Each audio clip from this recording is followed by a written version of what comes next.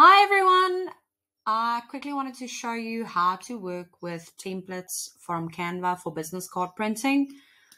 The reason why I'm showing this is that usually what happens is clients select one of the templates that you can see here. And the problem with it is, is that Canva is US sizes, so it's not the same. A lot of clients run into a problem, but I'm going to teach you a workaround and then we'll just um, show you how to save it as well. I do work in a free version. Um, sorry, but I pay a lot of money for my design programs, so I'm not using this every day. Okay, so let's say you decide you want this pretty little number. You just click on it.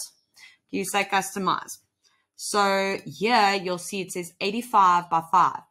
Um, and our business card sizes are 85 by 55, so that usually gets reported quite a lot. And then, or it's 90 by 50. So once you've selected customize, you'll see it pops up here. Now that's super cute, but you're going to run into a problem. So we're going to create a new design. So what we do is we just, well, I group it and then I copy it and then I go and I make a new one, create a new design, custom size. Now, depending on where, what size you want, we'll see it now. Basically, always watch out. This will always be in PX. A lot of clients run into that problem. Go for millimeters or centimeters. We usually work in millimeters. Let's say you go for a 90 by 50. That's what you add in. Create new design. Very simple. Now, we're just going to cheat because we have the design. We like that design, so we're going to steal that design. Okay, cool. So obviously it popped to the top, that's not a big issue in our lives. Okay, so the one thing I would point out to you is you need to watch out. A lot of clients, um, let's say the design was about there, which is nice, but if this is too close to the border, it's going to be reported for risk of element cutoff. So just, you know, always try and make it a bit higher. Then we're just going to ungroup all of this. So one of the things I want to point out to you is that you will need to extend your design. So whenever you have, this is the end of your page, right? So that's the end of where your business card will end. That's not the end of the design as in with bleed. So always extend colors that way. It looks weird. I'm fully aware. But for the greater scheme of things for bleed purposes, just that is the best to do it. So we're just going to go with wow. Not really worried about that part. Choose a name. Wowzer.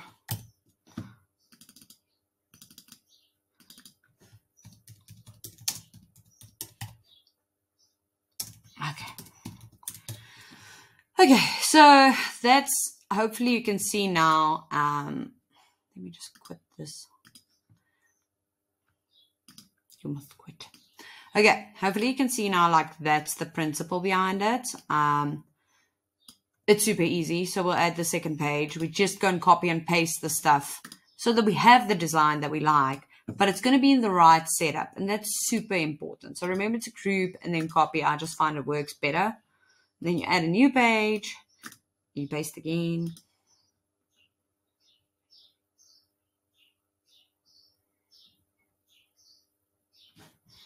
Okay, so it pastes, but it doesn't paste the background. I saw this earlier um, not that it's the end of the world. We just paste that in. Okay, see? Super easy. You can move it around. Obviously, you can go and um, copy and paste this from um, the previous page. Printing. Eh, services.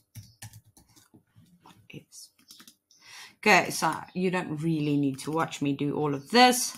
But you get the idea where it's like super easy for you just to just quickly go and copy and paste it. And now it's actually in the right size. Now, the more important part is how you are going to save it. So just remember what I said earlier.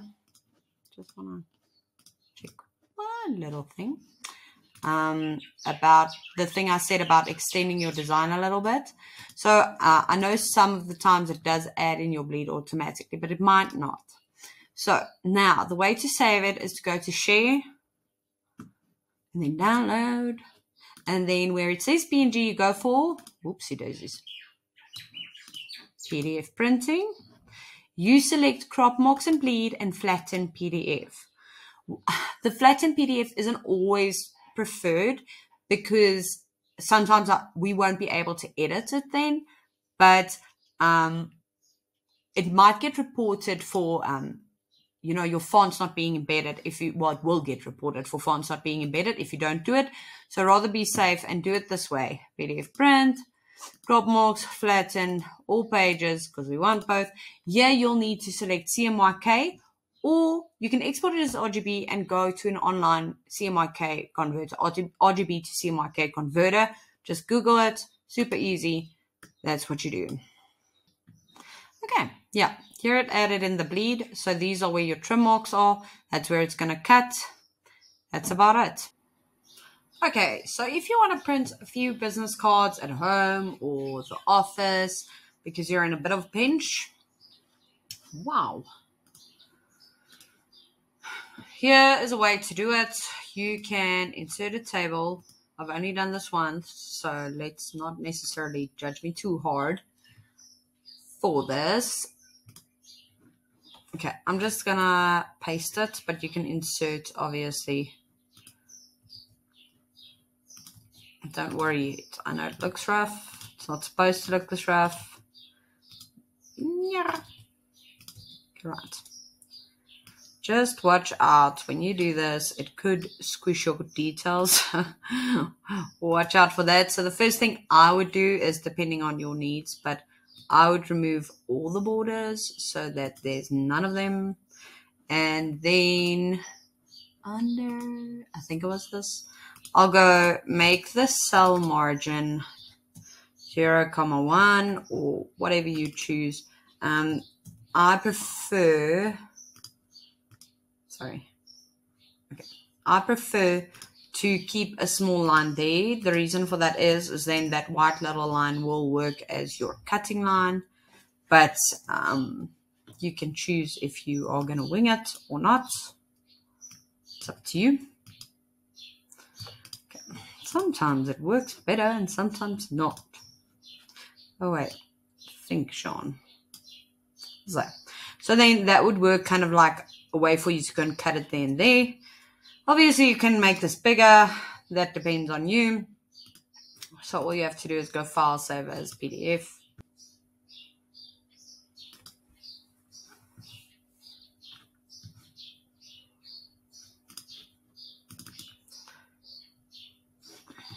Okay, so obviously go to file print.